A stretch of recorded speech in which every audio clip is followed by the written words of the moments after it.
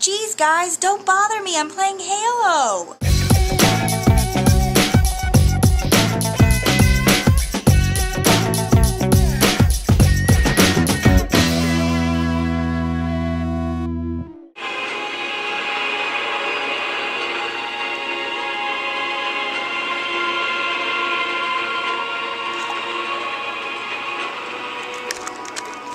No, guys, seriously.